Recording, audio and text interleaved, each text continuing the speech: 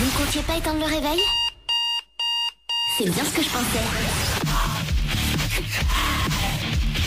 Tous les matins, Entre 6h et 9h30, Michael, vous réveille sur Fun Radio. Fun Radio.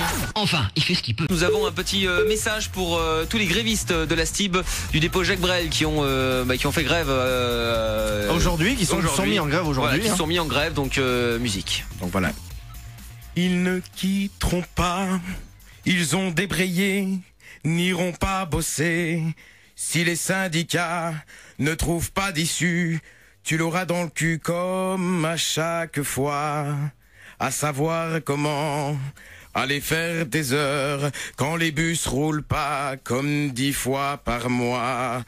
Tu l'as dans le baba, ils ne quitteront pas, ils ne quitteront pas, ils ne quitteront pas.